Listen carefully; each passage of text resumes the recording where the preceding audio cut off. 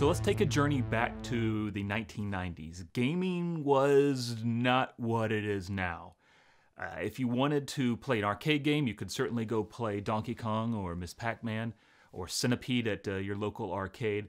But if you wanted to play a game on the computer, it was a little bit sketchier. Uh, you didn't have the first person shooters, that was not even a thing. Real time strategy games were not a thing.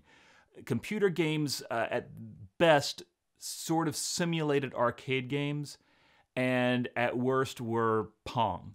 Then along comes a company called Viacom, and what they did is they created a sort of choose your own adventure style of gaming. At first, they did a few Sherlock Holmes type of games, and then in 1993, they released Dracula Unleashed. This was also in the choose your own adventure style. It was sometimes referred to as an interactive movie because you would watch actors on screen portraying scenes that you would choose for them to uh, experience. Dracula Unleashed was massively successful at its time. At the moment, it was the top selling game of all time, and it was the first time Dracula became a character brought into the computer gaming world. Obviously, Castlevania and things like that had existed already, but for computer gaming, for PC gaming, Dracula was making his first appearance with Dracula Unleashed. And the influence can still be found. If you go online and just type it in, you can find chat rooms that are dedicated to this game. Uh, there are plenty of walkthroughs and emulators that have been created. People loved this game at the time. Well, today we have the director of Dracula Unleashed, Mike Plant, is going to be joining us. And Mike Plant is going to discuss what Dracula Unleashed meant to him, what it was like to make that game. Sometimes we, we uh, slip up in the course of this interview and we called it a movie because that's kind of what it was, and what the influence is of it today. So without further delay, welcome Mike Plant. Uh, Mike, you are the director of a video game. People don't usually think of directors in video games, but what was different about Dracula Unleashed from the 90s that required an actual director? People are amazed now because they think of uh, Call of Duty and and uh, Grand Theft Auto and these other games that have these open worlds, but the animation's great, the cutscenes are great. Well, this was really these were really the first uh, open world kind of discovery video games ever made. But rather than having a lot of money for animation, we had to shoot uh, or got to shoot live motion uh, capture with actors. Now, since it was in the infancy, the Sherlock Holmes was you could barely even move like this because it would slow down the game processor. So a lot of, and it's part of why we went with Sherlock Holmes with the first one because, you know, it's a very analytical, you know, obviously series of books, and the game is the same where it's more uh, mind puzzles to solve who the murderer was. Over time, after the three uh, games of Sherlock Holmes went out, we were far more confident that we could do chase scenes and uh, vampires turning into wolves that could jump through the scene without it jittering in a stop motion kind of way. So we were able to do full uh, 30 frames a second stop motion video in this game. And it was very much in the feeling of Dark Shadows or the Hammer films of vampire movies that were also well known. And so it's uh, taken seriously, but with a little bit of a wink at times that mm-hmm. we're all in this having fun for us, it was like shooting a movie. And it, it is a movie. It's it's almost like a choose your own adventure movie. It, it is completely like that. Uh, the uh, writer of the game uh, was very beholden to Bram Stoker's Dracula, and as as you know, that book is very much written like a journal. Mm-hmm. And uh, this game is very much written like a journal. It's the journal of Alexander Morris, the brother of Quincey Morris, who, as you know, uh, helped Jonathan Harker kill Dracula in the book. Spoiler alert.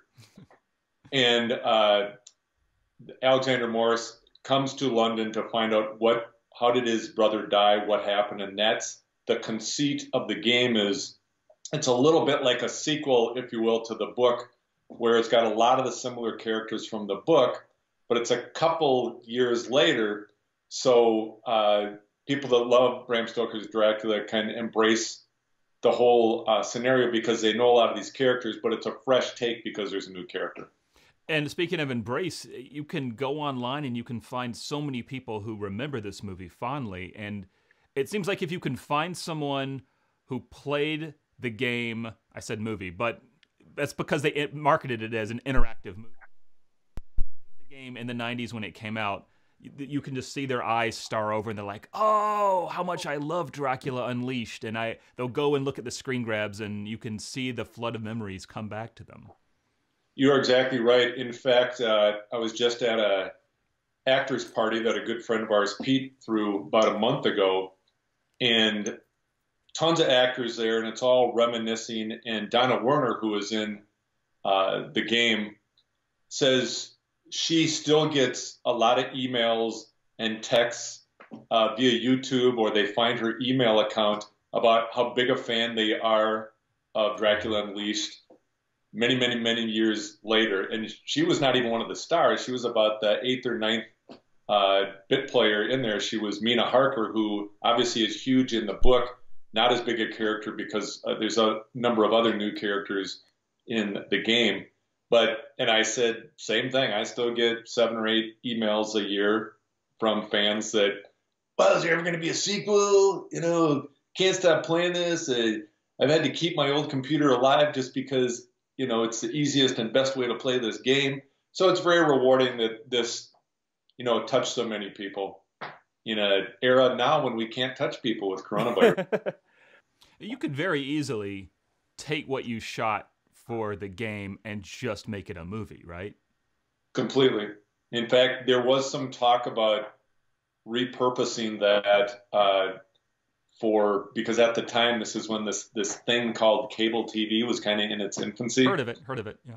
Heard of it? And the producer was saying he thought maybe we would just take everything up until the denouement uh, and turn it into uh, basically about an hour long uh, promo or episode or that that that could a pilot that would entice people not just to learn more and to find out how it all ends, but perhaps to entice people to uh, ask for a whole nother uh, game to be created.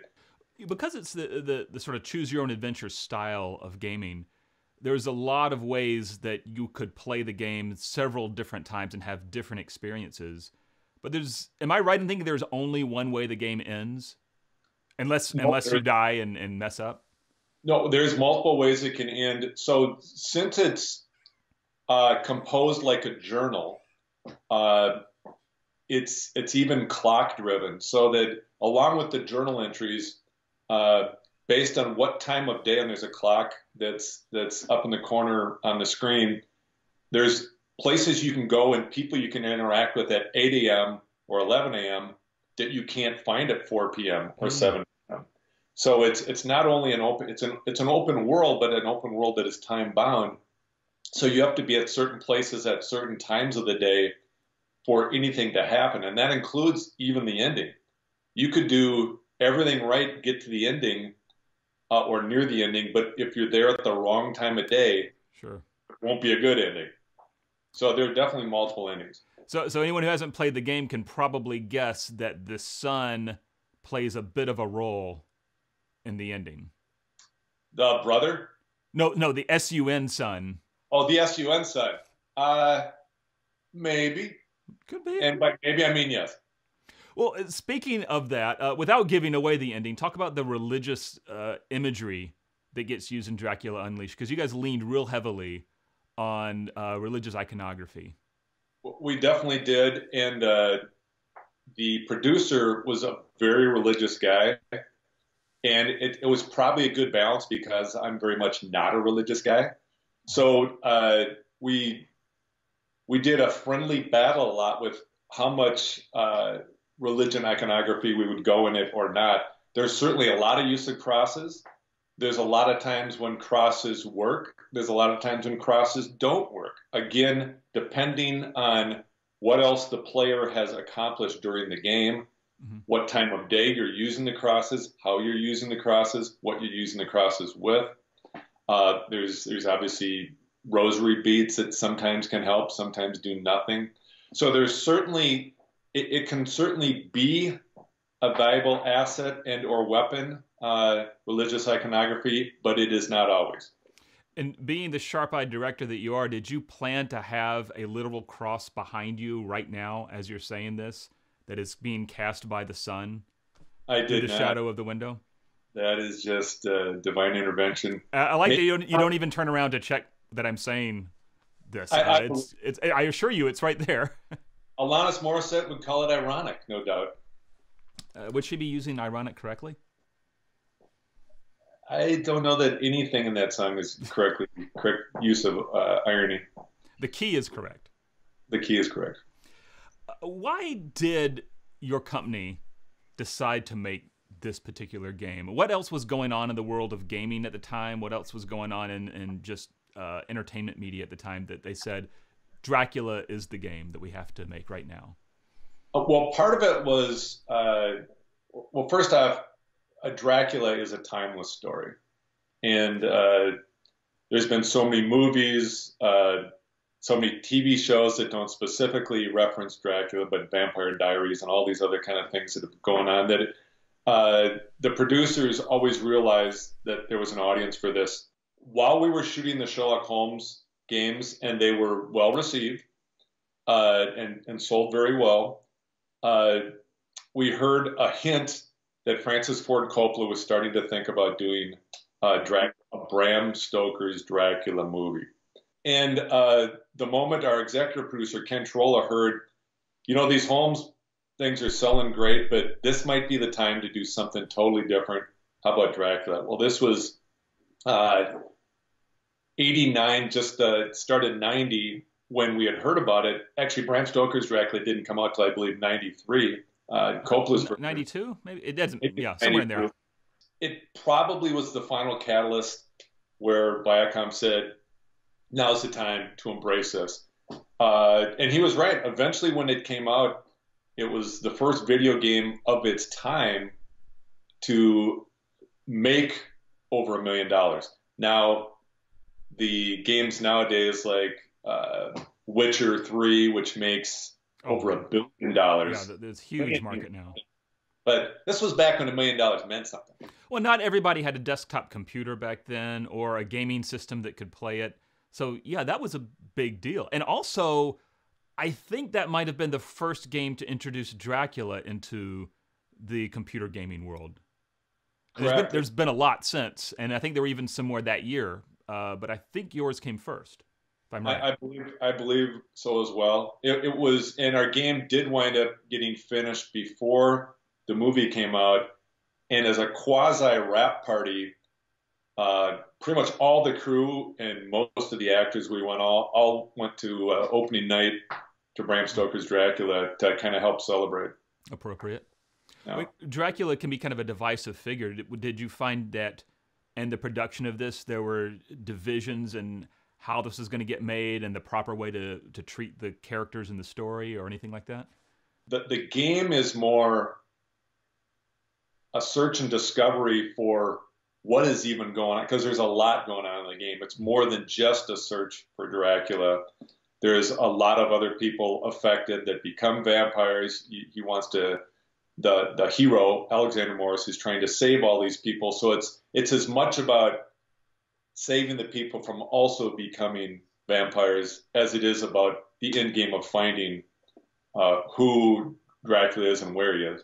And there's a mystery element to it, There's there's multiple mystery elements to it. which I'm, You sure, know, which I'm sure you were familiar with because you just made three Sherlock Holmes games right before that. well, right, and and there, there's numerous mystery. Just like any, my my wife loves the game Witcher Witcher Three. She has played it all the way through twice, and part of it is the game is not just to do one thing. Like many video games, the game is to uh, solve a million riddles along the way Mhm. and a million tasks and the little, you know, little mini uh, journeys. And that's exactly what the video game is too. There's there's a, a you know like a lot of video games. There's there's keys you have to find before you can go in to the alchemist's uh, store to be able to find the right potion that will help your fiance not die.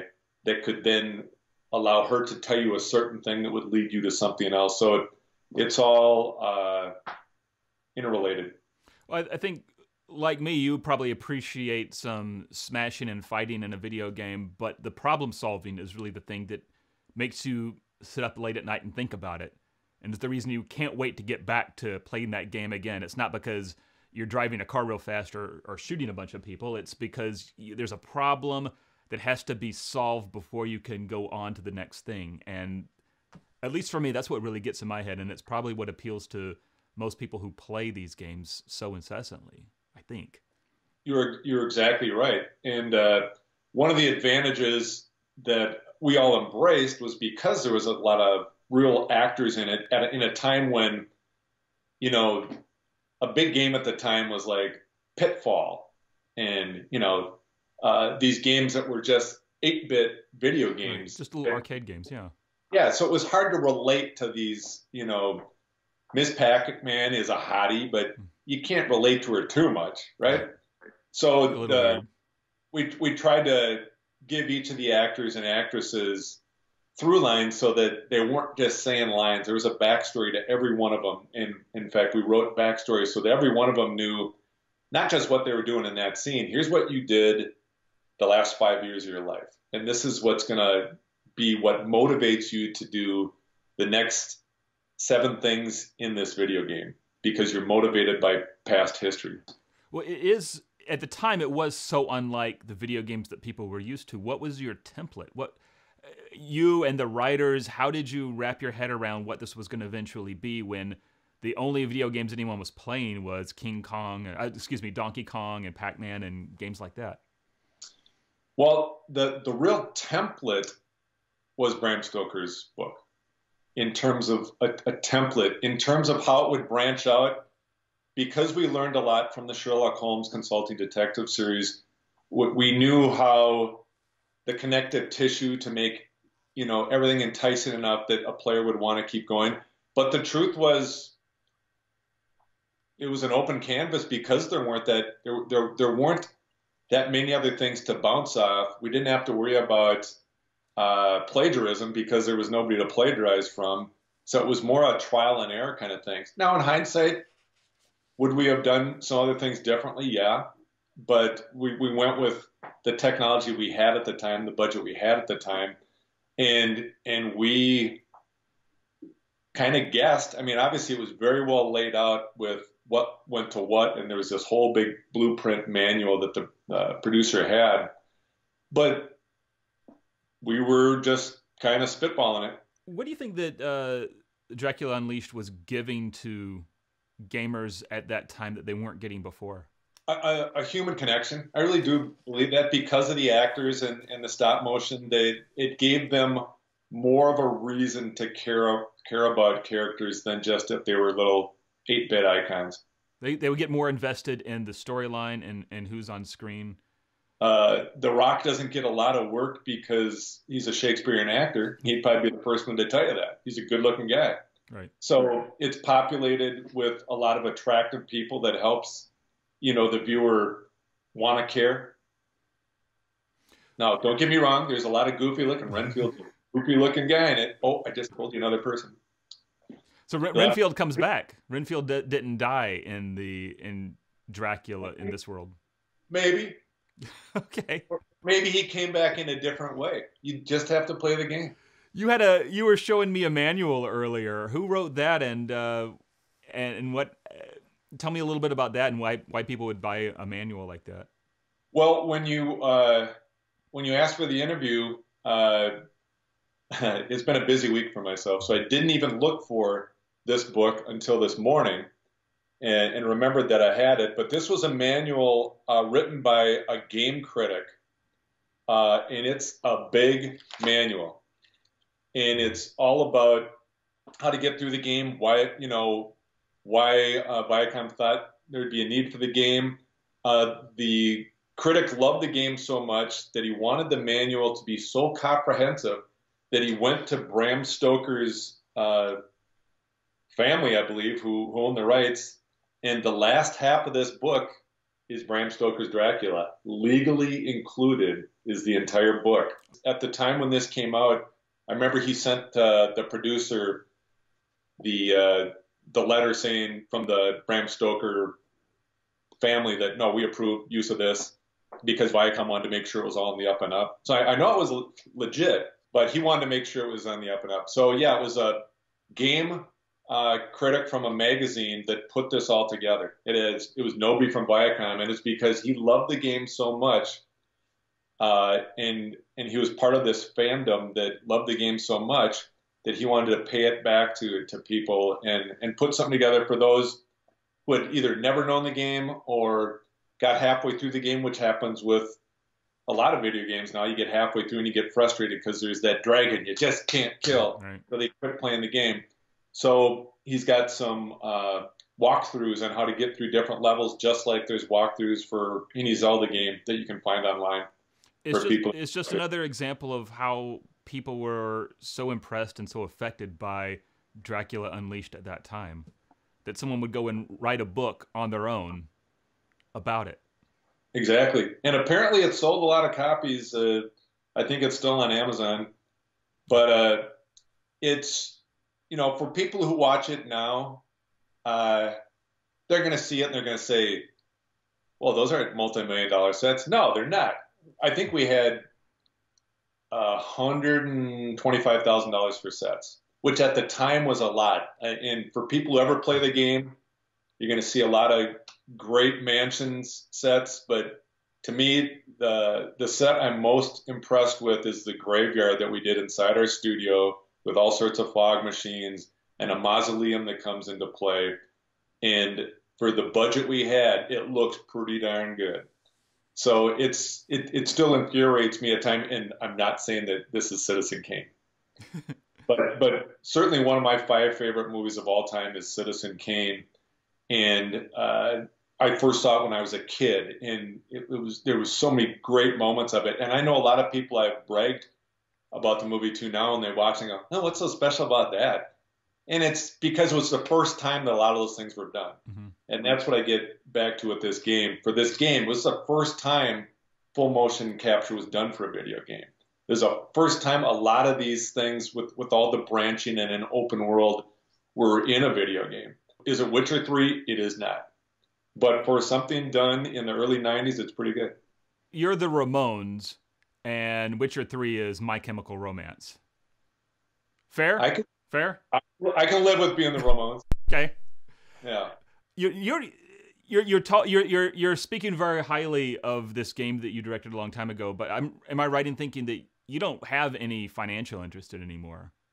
Oh no. I mean, you don't get paid anything more just because someone would go out and buy it now, which you can still buy. No, that is correct. No, in fact, there was never a time when we were getting a percentage. We we just got our day rate for shooting and editing the whole thing, and Viacom took it from there. And any any uh, any royalties that they got, in fact, the actors all just went for a buyout day rate. They they got no royalties. So it was only Viacom that made money after it was shot and edited and done, or continues to make money. In, in, in fact, Viacom is now purchased by another company. I don't even remember who and I'm sure any additional royalties would go to that company. But and I'm not no, I'm not saying that because I think you should be bitter. I, am I'm, I'm demonstrating that you're not here because you're trying to plug a game you did 30 years ago. You're you're expressing pride in something that you were a part of that people are still really into in this day. Well, it, you're right, and it was we all took pride. The cast and the crew took pride in the creative process. We shot this about six weeks straight, you know, 12 to 14 hour days for six straight weeks. And, you know, there was fantastic sets that, that you would shoot and then destroy that night because you had to repurpose some of the, the materials to make a new set the next day. And you would just, you'd almost want to cry because it's this beautiful set that we didn't have the time or money or space to leave it. We had to destroy it and then go on to another set the next day. And, you know, my hat goes off to everybody in the, the crew and the cast, but especially the, the carpenters and the set crew that just made these creative masterpieces that you know imagine spending time with this beautiful painting and then you show it to people and then you destroy it so you can repurpose the canvas that's what it was like. And uh, so it was very rewarding. Uh, it was a little bittersweet like i said when it was all done because we loved the creative outlet for six straight weeks so much that wait let's do more. We want to do more. We want to do more. Are there any scars from it? Literal or uh, figurative? uh, if uh, I, I can take a while to open the book. There's at one point uh, not only Dracula but another vampire turns into a wolf, and uh, so we had to hire a real wolf on the set. This wolf comes in and it was about 200 pounds. It was a huge, huge wolf. And the handler, who's this big muscle bound guy who is built like The Rock, said, Well, we'll have to do something to get him mean because I had to have him when Dracula turns into the wolf, he's got to then snarl at the camera. Right. And jump out a window of this set that we built, where it's a, a balcony that he jumps out the balcony. And if Dracula turned into and, a friendly dog who chased balls and licked himself, that just wouldn't do. yeah, that's not a that's that's not a show.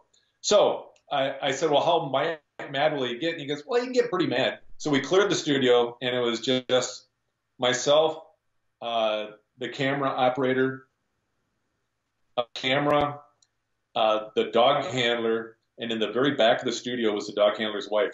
We had a lock off shot because it was from where uh, Dracula was, and it's got a lock off to when he morphs into the wolf. And uh, the, dog, the wolf handler is underneath the wolf, and he says, "Well, to make him mad, you got to smack him in the snout." And I said, actually smack him in the snout? He said, yeah, he'll get mad. And he had a rolled up newspaper.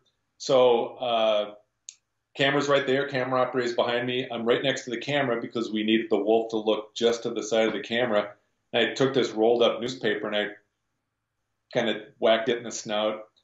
And in this locked off shot, and it's in the game, you can see the wolf all of a sudden starts snarling and his eyes dilated and he get so pissed off he ripped out of the wolf handler's uh, grasp, jumped uh, just to the side of the camera, chomped down on my arm, and there's a scar, scar right here, where he chomped down right on my arm, just just missed an artery, and uh, immediately looked like uh, he was going to end me. And the wolf handler said, "King, release." and he just let go, turned into this lovable pup again. I looked at the camera guy and I said, "Did you get all that?" He said, "Oh yeah," and it's in it's in the show. The only and I I had a a little couple of not even drops of blood. It was just red and, and like a little bit of blood, so nothing bad. The only thing bad that happened was the wolf handler's wife was in the back of the studio. The moment she saw the wolf chomped onto my uh, wrist, she fainted hit her head on the back of a sink that's in the back of the studio, and she needed stitches. So, just for anybody watching this who is concerned about cruelty towards animals, let's just be clear: you got what was coming to you for hitting that wolf with a rolled up newspaper. I completely deserved what I got. Uh, right afterwards, in fact, because I love dogs, as you know very well, I said, "Is he going to be mad at me forever?" And he said, "Well, he's not going to hurt you." I said, "Well, that's not the point." I said, I don't want to be mad at me. She said, Oh, no, he's probably already forgotten. So I went over, got on my knees. He came over, tail wagging, and I was petting him. And it was literally five minutes after I thought he was going to end me. And no, no permanent injuries to the wolf. No, not at all. Not at all. I got a question from PG Devlin on Twitter, and it's Would you direct this game again? And if so, what would you do differently? Well, PJ, for sure, I would be honored to direct it again. Uh, I'm proud. I'm, I'm, very happy with every cast member, every crew member. I, I, thought most times I brought my A game. There's probably I, I was creative as uh, technology would allow me to be with camera movement things of that nature. Uh, at the end, we had no budget. We, we, were told we had budget, but we wound up having no budget for this big transformation where uh, uh a character transforms into Dracula. and that would that is the number one thing I would do over is figured out a way to make that transformation far more memorable. Uh, you went on with your life. You did a lot of other uh, projects on film and video, uh, but creatively, you didn't really return to horror films quite in that way, did you? You you did other stuff. Oh, some film shoots felt like a horror show because they were so arduous, but no, did not do any other horror films uh, or video games after that. Did a lot of comedies, a lot of Renaissance area period piece things, uh, detective stories, a lot of different things, but not the horror genre. And uh, I'll be honest with you, I'm not the type that goes to a lot of horror movies. To me, a horror movie is like Silence of the Lambs, which is not a horror movie, but that's that's kind of that's kind of more my jam. I'm not a big fan of going to horror movies. There was growing up as a kid. Uh, this is really dating myself. Uh, long before you were born, on Friday night at midnight on Channel Five was a sh- show called Horror Incorporated, and it would be the classics, the the classic Bela Lugosi vampire and and uh, uh, Boris Karloff Frankenstein and The Invisible Man and Lon Chaney's Werewolf and a bunch of those uh, classic, iconic horror films that now in this day of uh, Friday the 13th, 27 or whatever number they're on, and and you know that's nothing. You don't see people getting impaled from underneath the bed and stuff like that in in any Bela Lugosi movie. So it's what what is or is not a horror film has evolved in its definition, I think, over time, and and certainly more the what I would call the classics, like I said, the Lugosi and Karloff ones. Those are more the ones that I've always appreciated. I I love the fact that in Frankenstein you wind up caring for the monster, which as a kid, as a viewer, I started watching the movie. I was never going to care about that, and that's who I think you're supposed to care about by the end. And and I don't know that with with the Jasons and Freddy Kruegers, I don't know if you're supposed to care care about them or Jigsaw and Saw or any of those kind of characters. I think they're just supposed to be menaces. Jeffrey Dahmer might be one of them. Uh, yeah, he, he, probably is. Well, gonna... Dahmer Dahmer is the the vampire of the, of the day, right? Um, we've romanticized vampires, but now we have serial killers instead. Exactly. Exactly. What do you think the uh, the appeal of vampires is? Why do we? Why was Dracula Unleashed a success at the time? Why are vampires still a thing here in 2020? Well, I think it's the mystery of uh, whether you're calling them undead or just immortal. The fact that they can live forever. Uh, I think the fact that they're a mystery. I, I think the the fact that they're powerful I think there's a lot of those illusions. I think that the fact that they just plain have cheated death in one way, shape, or form that uh, appeals to people. I think it's just the unknown. I think a lot of people like being on the edge of their seat and and and that tingle of being petrified and scared of what's going to happen and what's going to come next. So I think to me it's probably a combination of a lot of those things. I also think in terms of uh, like for our game or Bram Stoker's Dracula, uh, I believe that ultimately the reader is supposed to be reading for Jonathan Harker in the book to uh, for he and Quincey Morris to to kill Dracula. So it's the overcoming that ultimate evil that cannot be killed. So it, it makes humanity feel better that there's this big bad out there, but you know what? If we get the team together, we, we can take this big bad on and we can emerge victoriously. So I think it's it's the allure of all that power and the potential of overcoming that threat.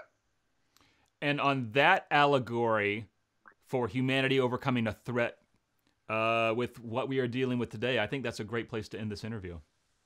Awesome. But let me recap once again. The wolf was not harmed. but it's a you made it for a great story though, didn't it? It, it made for a great story. It was a King was a great wolf, and uh, I think that newspaper was hurt more than his snout when the newspaper hit the snout. well, we'll we'll pour one out for King, and thank you again, Mike Plant. Thank you very much. Thanks again to Mike Plant for joining us. I'm going to put some links down below to Dracula Unleashed. Uh, you're going to find some emulators that are out there that people have created, uh, some walkthroughs on YouTube if you just want to see what the game looked like, as well as a link to the kind of stuff Mike is working on these days. Thanks again for joining us here on the Toothpickings webcast. Hope you stay safe, stay indoors, and we'll talk to you again soon.